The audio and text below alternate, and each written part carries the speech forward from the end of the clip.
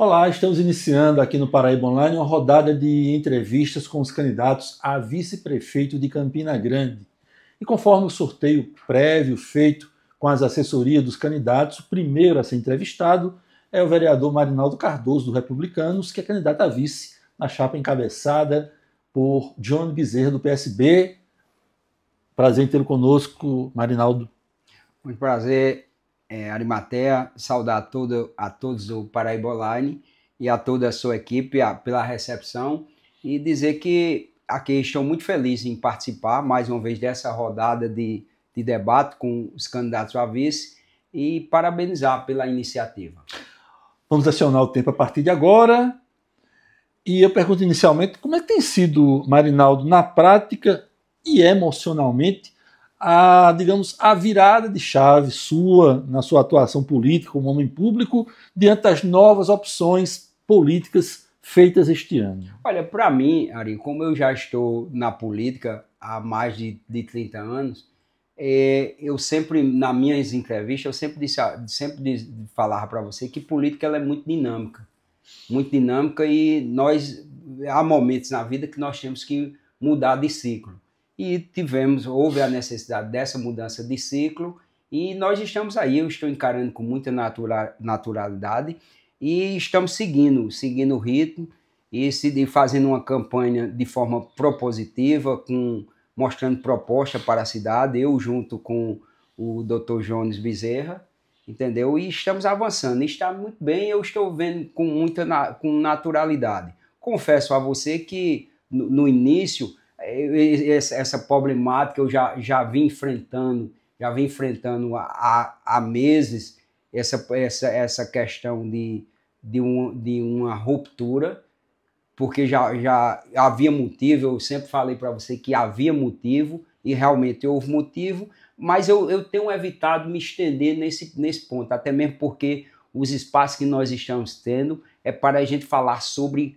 sobre as nossas propostas para Campina, o que nós podemos fazer para melhorar com Campina. Tendo por base Campina, o que é que quais as revisões que o senhor fez com relação às críticas, às críticas que o senhor fez ao governador João Azevedo nos últimos anos? O que é que nesse novo ciclo o senhor já reavaliou em termos de conceitos e opiniões sobre a gestão João Azevedo na angulação de Campina Grande? Olha, Arimaté, eu acho que eu não.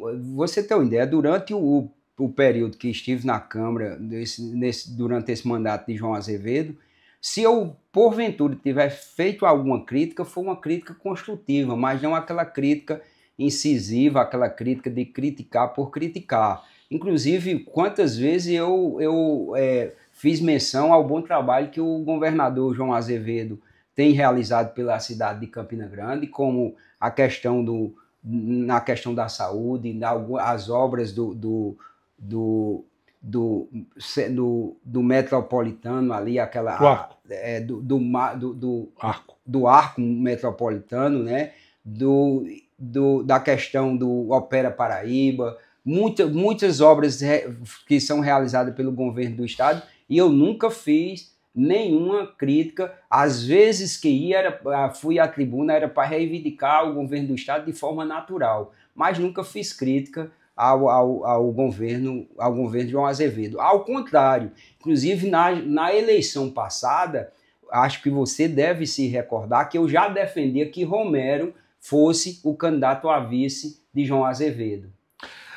É, candidato, é, que tipo de vice qual a extensão da influência no cargo o senhor combinou com John Bezerra ao aceitar ser o seu companheiro de chapa? Olha, eu tenho a oportunidade, eu, eu tenho a oportunidade de não ser um vice coadjuvante, de eu ser um vice que possa ajudar a cidade de Campina Grande, que eu possa fazer a interlocução política. Política, você, você sabe, eu, graças a Deus, eu, eu, eu tenho um, um bom relacionamento com a classe política da, do município da Paraíba.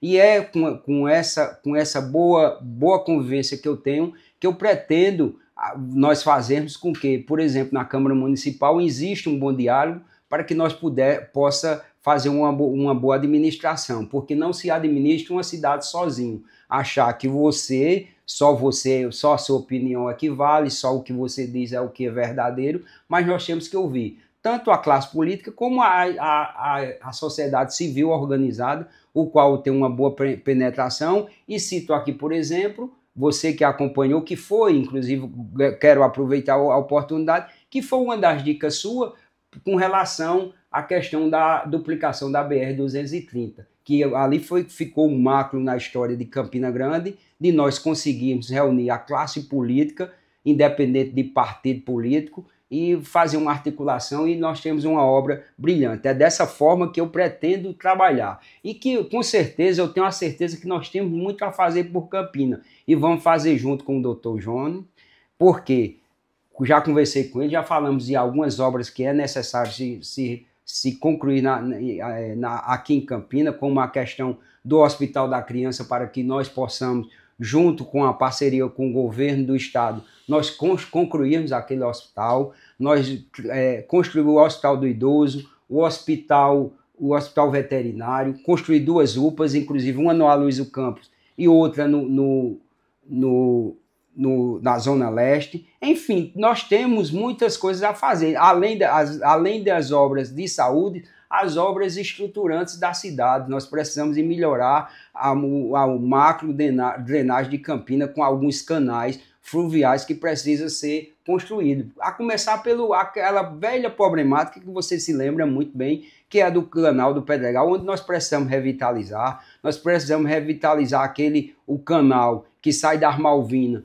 para, para chegar até o, o, o, conjunto Ronaldo Cunha Lima. Nós precisamos de fazer, de fazer uma recuperação no, no distrito industrial, eh, rever a questão do, do terceiro distrito industrial do Aloysio Campo, que precisa ser feito uma pavimentação, lutar pela questão da geração de emprego e renda, é, é, agilizar junto ao governo do, do Estado convênio para que nós possa adquirir mais mais indústria, indústria para o município, para que nós possamos gerar desenvolvimento e renda para o nosso, o nosso, nosso município e para o nosso povo. Quando o senhor diz ninguém governa uma cidade sozinho, indiretamente está apontando o que considera o grande equívoco, do governo Bruno? Olha, eu acho, eu, eu faço essa crítica construtiva. Houve, houve alguns equívocos de muitas vezes você você muitas vezes não ser ouvido. Passamos muito tempo sem ser ouvido. Eu mesmo, eu confesso a você, se eu, eu, na minha opinião, já disse o recurso que foi aplicado ali no parque, no parque Evaldo Cruz e o, e o Parque do Povo, o Parque Evaldo Cruz, importantíssimo aquela obra, inclusive sempre lutei para que ali houvesse aquela revitalização, importante. A extensão do, do, do parque, do parque do Parque do Povo também que precisa, porque o São João é uma referência para Campina. Agora, eu não, veri, não vi a necessidade de se fazer aquele túnel, aquela ponte. O dinheiro daquela ponte poderia muito bem ter sido investido no hospital, lá no Hospital da Criança.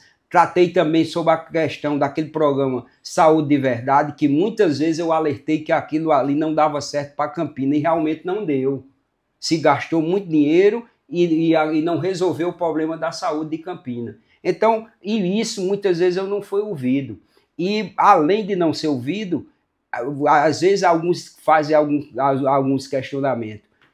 É, de, no dia 5, Arimatea, de novembro, eu publiquei na minha rede social uma obra que foi, foi realizada por mim e o prefeito, o ex-prefeito Romero, no bairro do Tambor, e eu tive o prazer de fazer essa, essa, essa republicação. E no, no dia seguinte eu estava sendo ressarçado pelo alguns membros do, do, do, da gestão porque eu fiz aquela publicação. E então, daí então começou, começou alguns, alguns contratempos comigo e daí se debocou aonde nós estamos. Eu estou de um lado e hoje, e hoje o, o, o, o atual prefeito está do outro. Agora há pouco, Marinaldo, de passagem, o senhor fez uma menção ao deputado Romero Rodrigues. O senhor ainda se considera um aliado de Romero Rodrigues? Olha, eu sou amigo de Romero. Eu sou amigo aliado? De... Eu, eu sou amigo de Romero. Eu, eu, não tenho, eu, eu aliás, eu, eu, como eu disse, Arimatel, eu não tenho divergência política com, nem, com, nem, com ninguém eh, da política paraibana.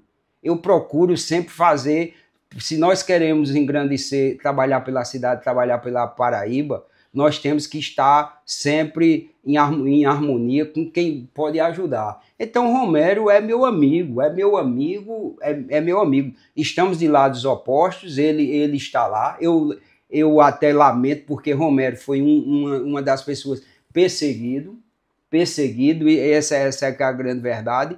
O Romero foi perseguido, houve alguns problemas, alguns problemas. Eu não sei qual a decisão de, de Romero, mas eu, eu até eu até o elogio o Romero por ele ter o gesto, o gesto, a paciência que eu não tive para permanecer.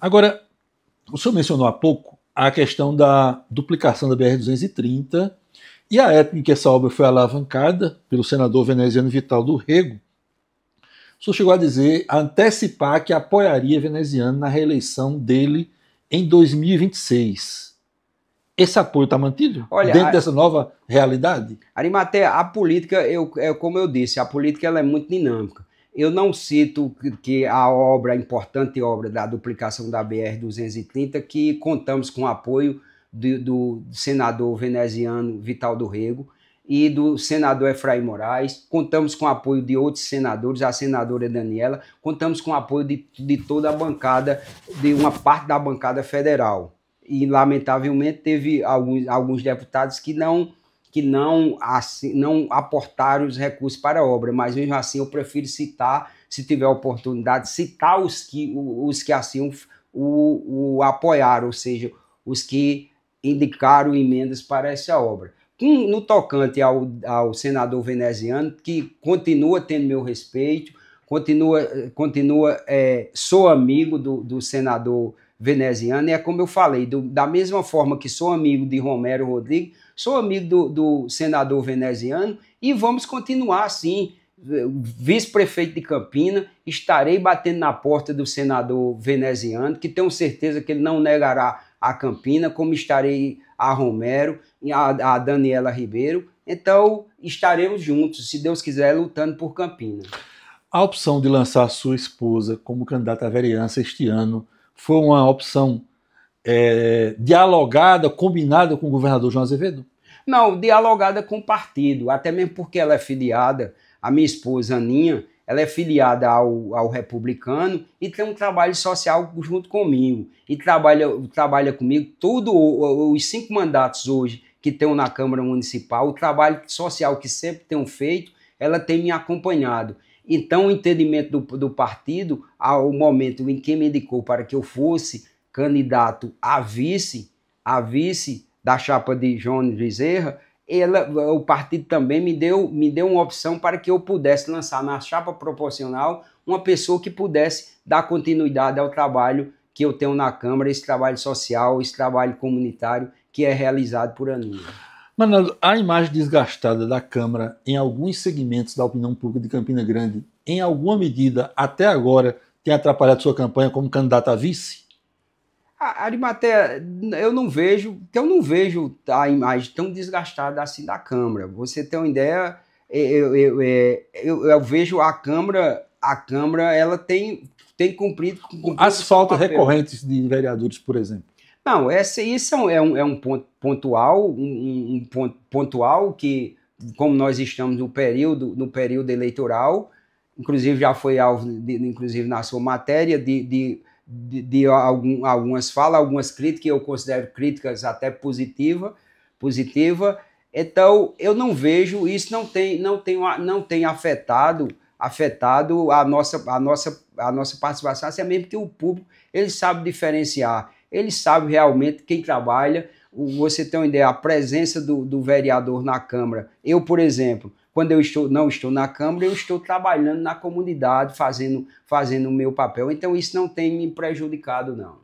O senhor tem aí, para as considerações finais, um minuto e 20 segundos, candidato. Olha, eu quero só agradecer, Arimatea, mais uma vez a oportunidade de dizer que nós estamos, estamos, a nossa campanha está boa, se Deus quiser, nós vamos mudar a história de Campina. Há um sentimento de mudança, de mudança nessa cidade. Nós precisamos alavancar nós temos problemas na saúde, nós temos proposta para a saúde, no social nós temos proposta, nós temos proposta na educação, nós temos proposta na, na área esportiva, em, todo, em todas as áreas nós vamos ter proposta positiva para o, é, o engrandecimento de Campina. E se Deus quiser, nós vamos continuar trabalhando para que Campina continue sendo a cidade mais importante do, do, do Nordeste. Nós não, não podemos mais ficar perdendo, perdendo nos nossos nos rankings para outros municípios, municípios inclusive de estados vizinhos, que aqui eu não vou citar. Mas fico aqui agradecido mais uma vez. É, peço que todos nesse instante que votem na chapa Marinaldo e Jones Bezerra, número 40.